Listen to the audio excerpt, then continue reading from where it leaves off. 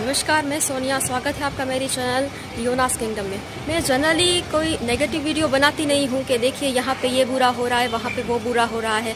पर आज कुछ ऐसा हुआ कि मैं मेरी मम्मी को वैक्सीन दिलवाने के लिए यहाँ पे ले आई थी। आ, मैं कभी कोई गवर्नमेंट के खिलाफ कोई वीडियो नहीं बनाती हूँ। कुछ लोग होते हैं जो बस गवर्नमेंट को क्रिटिसाइज करते रहते हैं गवर्नमेंट ने ये नहीं किया वो नहीं किया। मैं हमेशा गवर्नमेंट के सपोर्ट में ही वीडियो बनाती हूँ। मुझे गवर्नमेंट पर पूरा भरोसा है। पर ज़रूरी नहीं है कि गवर्नमेंट का हर कर्मचारी अपना काम ठीक से कर रहा है। मैं मेरी मम्मी को वैक्सीन दिलवाने ले आई हूँ। यहाँ पे नौ बजे का टाइम था। हम नौ बजे से बैठे हैं और वो लोग वैक्सीन लगवाने आए पौने दस बजे। पौने दस बजे आए और लोग इतनी देर से बैठे थे तो लोगों का भी इतना फॉल्ट नहीं होता है। फिर नाम रजिस्टर करवाने के लिए सभी लोग धक्का मुक्की करने लगे। मुझे तो चार पाँच लोगों ने छू भी लिया। अब उनमें से किसी को कोरोना हो, मुझे कोरोना हो तो ये कोरोना फैलने वाला ही है। ऐसे समय में जब कोरोना इतना फैल गया है भूज में इतना कर्फ्यू लगवाना पड़ रहा है। ऐसे समय में गवर्नमेंट के प्लेस पे, यहाँ पे लोग सोशल डिस्टेंसिंग नहीं रखते हैं। अब लोगों का क्या है, लोग कभी नहीं समझने वाले। जैसे स्कूल में कैसे बच्चे होते हैं, बच्चे नहीं समझने वाले, वो आवाज़ करेंगे ही टीचर को उसको चुप कराना पड़ता है। वैसे लोग लोग नहीं समझने वाले कि हमको एक दूसरे को छूना नहीं है, हमको सोशल डिस्टेंसिंग रखनी है, लोग नहीं सब, कभी नहीं समझने वाले।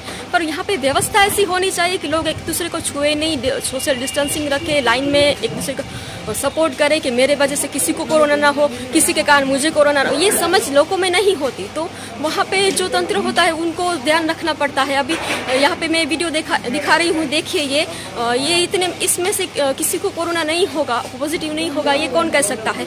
एक को होगा, सबको लग गया होगा। अब ये वैक्सीन फ़र्स्ट टाइम पे कोई असर नहीं करती है। फ़र्स्ट टाइम आपने वैक्सीन ले ली है तो आप जैसे आयन मैन बन जाएगी, ऐसा नहीं है। सेकंड टाइम डोज लेने के बाद भी एक महीने के बाद आप सुरक्षित हो जाते हैं। तो अभी इसमें से किसी को कोरोना नहीं होगा, कोई एक दूसरे को नहीं देगा, इसकी क्या गारंटी थी?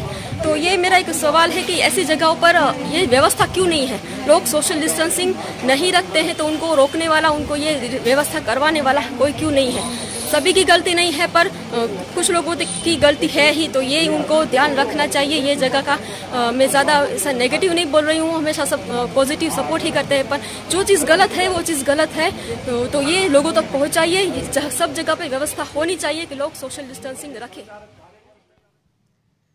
अब देखिए इसमें किसको हम दोष दें तंत्र को या लोगों को? ज़्यादा गलती लोगों की ही है। सोचिए, अगर आप लाइन में खड़े हो, कोई पीछे से कोई व्यक्ति आकर आपसे आगे निकल जाता है, तब हम में कितना पावर आ जाता है कि अरे भाई, हम तुमसे पहले खड़े हैं तो हमारा नंबर पहले आएगा, आप पीछे जाइए। और यहाँ सब देखिए कितने नज़दीक खड़े थे एक दूसरे को, एक दूसरे को छू कर आके निकल रहे थे। ये तो मैंने वीडियो ऑन किया, तभी ये लोग थोड़े दूर हुए। यहाँ कोई बोलना ज़रूरी ही नहीं समझता है। आप अगर अपनी ड्यूटी ठीक से निभा रहे हैं, आप गलत चीज़ का विरोध कर रहे हैं, आप लापरवाही नहीं कर रहे हैं, तभी आपको हक बनता है किसी को बोलने का कि देखो ये कोरोना लोगों की लापरवाही की वजह से, सरकार की लापरवाही की वजह से बढ़ता जा रहा है।